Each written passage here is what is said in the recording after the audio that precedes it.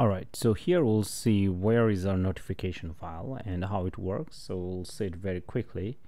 Now to follow along with this, definitely you need to go to the last section and download the complete code. And in the complete code, the notification is already added.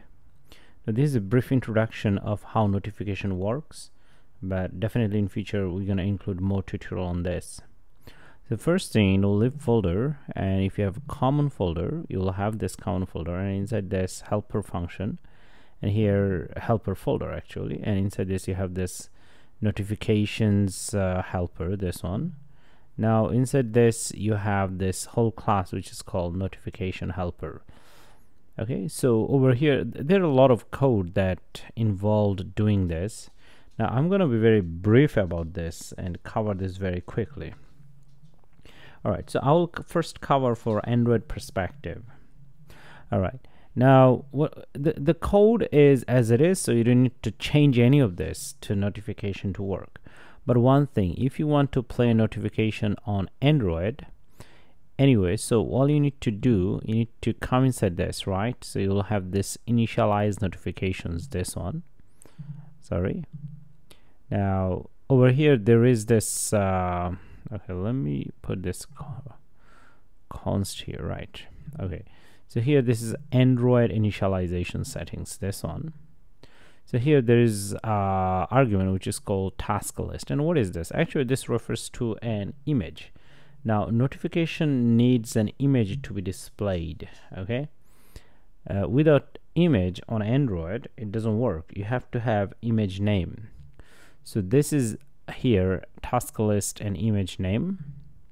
And this where is this image located? Well for android you need to come over here android folder app source main res and then here most probably well not most probably inside this drawable folder you have this task list.png so you have to have an image and it has to have the correct path so now in inside your res drawable folder whatever the image it has to be png format. Just mention the image name over here. Don't write .png all right so that's the only settings with android actually. And the image name has to be correct. Okay? Now for ios you don't need any kind of special settings directly like folder based like this. With iOS you need permissions okay? Now this permission should be done somewhere okay? Now well actually when you initialize this app and try to add a notification definitely add.dart would get called actually. I wouldn't say notification I would say when you try to add a task. Add.dart this one gets called and inside this there's init state function and here you do see that we call this notification helper function. Uh, sorry this notification helper class and the methods over here uh, we can directly access them using the class uh, actual instance name over here. So first we well we have a variable which is called controller notification helper. The variable name is controller and we have it as light and we initialize it later. So that's why here we have like this. And then after initializing this variable which is notification helper type while over here actually we do this initialization notification. So this is the function that we have seen a little early uh, over here actually uh, this is the function. So it gets called and it initializes everything. But over here actually most initialization happens for uh, especially for Android even though we do see Darwin settings. Now this is for iOS actually. Okay? Now for and uh, well for iOS to work more on this you have to have this permission thing. You have to call this function and this is exactly we did over here. Okay request ios permission. Yeah. So for ios you have to call this one. And for android initialization everything happens over here uh, inside this function. Okay. So these are the two most basic things you have to have to be able to work on notification. Okay. Now there's another thing I would like to tell you that now here we do say that we are passing the ref object okay to this notification class and you may ask why.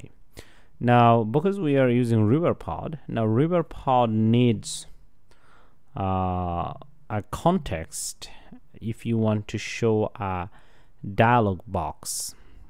Like over here on iOS if you have this notification pop-up a local notification then you have to use context for show dialog but now since we're inside a controller or a very different class which is not a riverpod controller class it's difficult to access the ref object. So that's why actually we passed the ref object from here. As we call this as we instantiate actually we pass it to this section over here. Okay all right. Now as we do that and it gets the context is available because we already passed the ref object. If you pass ref object from ref you can grab the context. And that's what we did okay? And it's very important.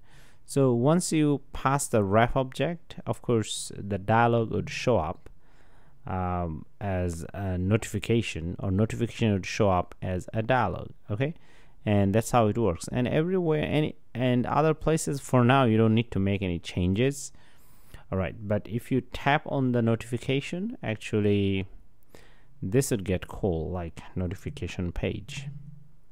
All right so it'll go to a new page and over here actually it would show your uh, notification all right as it says view notification now in general uh, you need to pass the payload. Payload is the information that you want to show on the notification. As you can see this is as a string. So in general our notification is string okay? Now of course this string is available uh, inside this function which is called configure select notification. Inside this we are calling this uh, uh, select a notification subject which is an object of I believe uh, this one okay? This is a special streaming behavior object. Now this is more complex but anyway we are not going to dive into this one now. So we have this one and because of this one we have this uh, stream object which listens to notification so as we click on that on that notification it takes you to a new page. All right? But of course here is this route. You have to have route to go to a new page. What i'm trying to say that stream object carries the payload.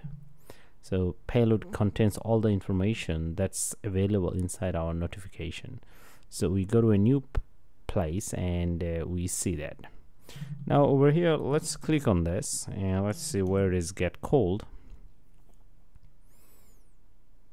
so here we have this notification helper and as you can see so it actually gets called at the very early okay when you initialize this function. So once you initialize this initialize notification we know that this is get initialized uh, over here right? This one. Initialize. So as it gets initialized so this function gets registered. So in a sense when this gets registered actually it actually registers this listener object okay? As you can see over here we have this listener okay? Stream.listen so it keeps listening to notification and as there is notification it pops up and if you click on that it goes to a new page all right? So that's how it works. Thank you